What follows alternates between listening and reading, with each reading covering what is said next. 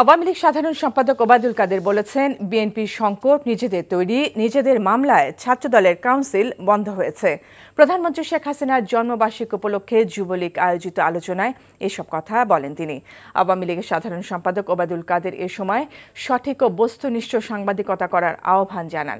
রাজধানীর সোহরার্দি উদ্যানের এই অনুষ্ঠানে তিনি আরও বলেন, বিএনপির সংকট নিজেদেরই তৈরি, সরকার কখনোই ছাত্রদলের কাউন্সিল বন্ধ করেনি।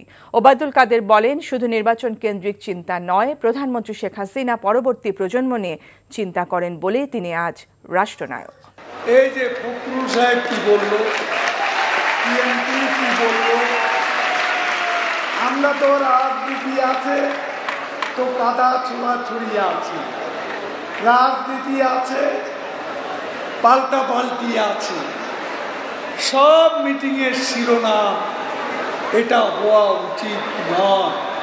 আমি বিএনপিকে কী গালি গালাজ করলাম, সেটাই হয়ে যায় ছিল না এটা যদি হয় সাংবাদিকতা, আমার মনে হয় এটা বস্তুনিষ্ঠ সাংবাদিকতা নয়।